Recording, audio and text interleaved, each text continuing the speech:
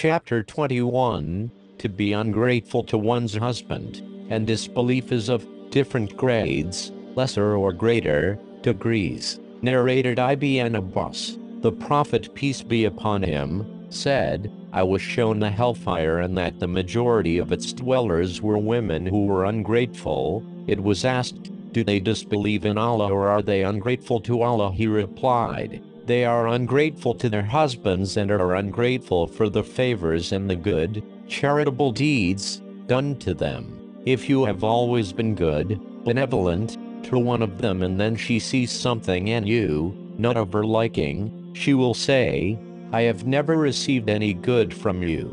Chapter 22 Sins are from ignorance, and a sinner is not a disbeliever unless he worships others along with Allah Azza wa Jal. Narrated Al Ma'rur. At Arabad I met Abu Dhar who was wearing a cloak, and his slave, too, was wearing a similar one. I asked about the reason for it. He replied, I abused a person by calling his mother with bad names. The Prophet said to me, O Abu Dhar, did you abuse him by calling his mother with bad names? You still have some characteristics of ignorance. Your slaves are your brothers and Allah has put them under your command. So whoever has a brother under his command should feed him of what he eats and dress him of what he wears. Do not ask them, slaves, to do things beyond their capacity, power, and if you do so, then help them. Chapter 22 And if two parties or groups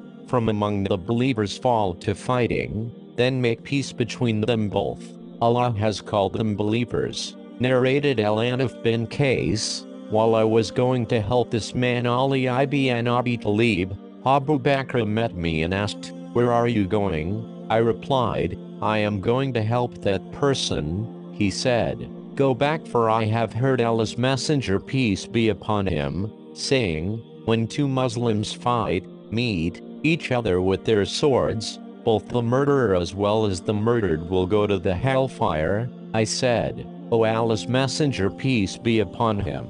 It is all right for the murderer but what about the murdered one Allah's messenger peace be upon him, replied, he surely had the intention to kill his companion. Chap 23r, dull, wrong, of one kind can be greater or lesser than that of another. Narrated Abdullah, when the following verse was revealed, it is those who believe and confuse not their belief with wrong, worshipping others besides Allah. 6, 83, the companions of Allah's messenger peace be upon him, asked, who is amongst us who had not done injustice, wrong, Allah revealed, no doubt, joining others in worship with Allah is a great injustice, wrong, indeed, 31.13, chapter 24, the signs of a hypocrite, narrated Abu Huraira, the Prophet peace be upon him, said, the signs of a hypocrite are three.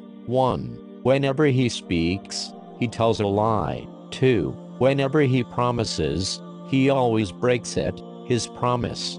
3. If you trust him, he proves to be dishonest. If you keep something as a trust with him, he will not return it. Narrated Abdullah bin Amr, the Prophet peace be upon him, said, Whoever has the following four characteristics, will be a pure hypocrite and whoever has one of the following four characteristics will have one characteristic of hypocrisy unless and until he gives it up. 1. Whenever he is entrusted, he betrays. 2. Whenever he speaks, he tells a lie. 3. Whenever he makes a covenant, he proves treacherous. 4. Whenever he quarrels, he behaves in a very imprudent, evil and insulting manner. Chapter 25 To establish the Nafil, voluntary, prayers on the night of Qadr is a part of faith. Narrated Abu Huraira, Allah's Messenger peace be upon him, said, Whoever establishes the prayers on the night of Qadr out of sincere faith and hoping to attain Allah's rewards, not to show off, then all his past sins will be forgiven. Chapter 26 Al Jihad Fighting TN Allah's cause is a part of faith. Narrated Abu Huraira, the Prophet peace be upon him, said, the person who participates in holy battles in Allah's cause and nothing compels him to do so except belief in Allah and His apostles, will be recompensed by Allah either with a reward or booty if he survives or will be admitted to paradise if he is killed in the battle as a martyr.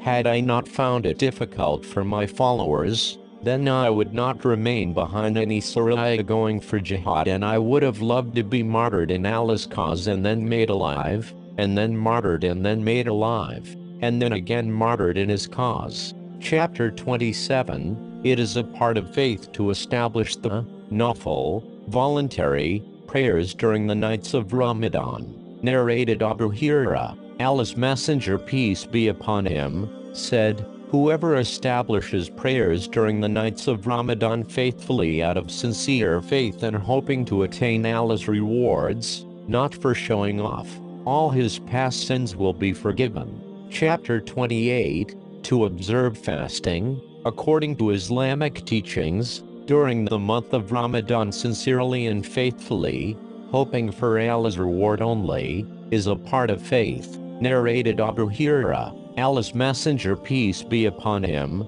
said, Whoever observes fast during the month of Ramadan out of sincere faith, and hoping to attain Allah's rewards, then all his past sins will be forgiven. Chapter 29 Religion is very easy. Narrated Abu Huraira, the Prophet peace be upon him, said, Religion is very easy and whoever overburdens himself in his religion will not be able to continue in that way. So you should not be extremists, but try to be near to perfection and receive the good tidings that you will be rewarded, and gain strength by worshipping in the mornings, the afternoons, and during the last hours of the nights. See Fath al-Bari, page 102, vol 1. Chapter 30, the offering of salat, prayers, is a part of faith. Narrated al-Bara bin Azib when the Prophet, peace be upon him, came to Medina, he stayed first with his grandfathers or maternal uncles from Ansar.